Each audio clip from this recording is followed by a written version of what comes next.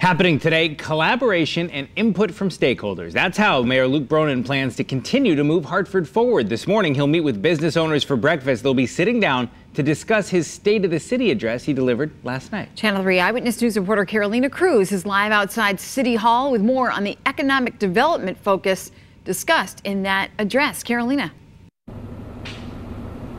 Good morning. Well, last night, Mayor Luke Bronin, he stood inside City Hall chambers here and explained the impact of Hartford's success, which he says extends beyond just the residents of Hartford.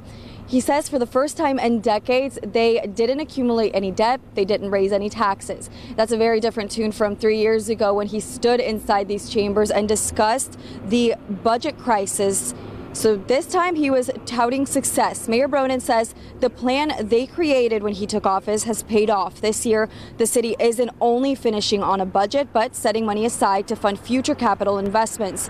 He also discussed how projects that stalled for decades are finally underway, and vacant housing turning into blight land is now affordable housing. Businesses are also showing interest in the city. Fang Chop House in downtown is contributing to that economic growth. After more than a year of renovating, they'll reopen early next month. Mayor Luke Bronin says moving forward, they're also focusing on new goals. As much as we focused on getting buildings built and renovated, the strength of our neighborhoods depends just as much on basic, everyday quality of life. And here the truth is that our record is mixed. In some areas, we've made real progress. In others, we have to do much better.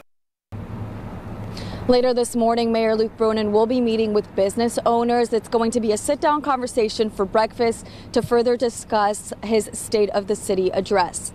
Coming up in our next half hour, I'll tell you what some critics are saying about his address. For now, reporting in Hartford, I'm Carolina Cruz, Channel 3 Eyewitness News.